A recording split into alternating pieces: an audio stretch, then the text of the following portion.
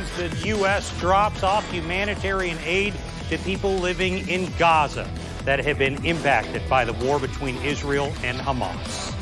U.S. officials say about 38,000 meals were dropped off from three different U.S. aircrafts. More airdrops are expected to happen as ceasefire negotiations between Israel and Hamas continue.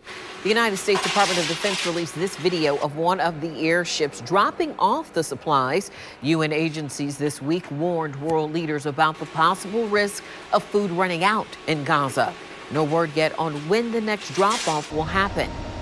Now, since the beginning of the war, communities all over the United States and here in Florida have seen an uptick in anti Semitism. Now, Florida legislators are pushing for Governor Ron DeSantis to sign off on a bill that changes the definition of anti Semitism. News4JAX reporter Alicia Hatcher joins us live now in studio. Alicia, there is a strong chance that the governor will sign this bill. Scott, the bill passed unanimously in the House. Legislators say this new definition will help address the hate crime in Florida. As the war in Gaza continues between Israel and Hamas, Florida leaders are working to change the meaning of anti Semitism. Just days before, a bill was unanimously passed in the Florida House on Thursday.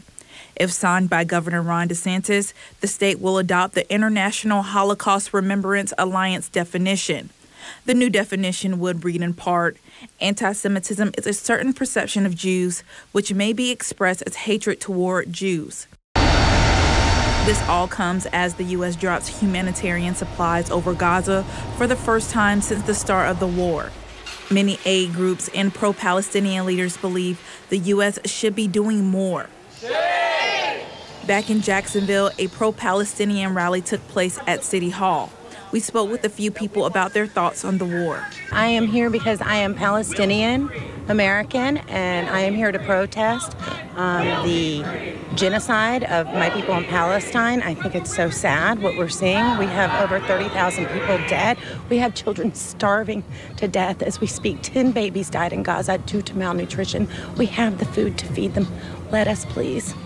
Just let us. Gaza is so small and they're bombing such a densely packed place and they keep moving them to even smaller and smaller locations. They're trying to wipe them out. This is not this is not retaliation. This is a genocide. This is ethnic cleansing. According to U.S. officials, a framework deal for a ceasefire and the war has been accepted by Israel. Right now, both the U.S. and Israel are waiting on a response from Hamas. Alicia Hatcher, Channel 4, the local station.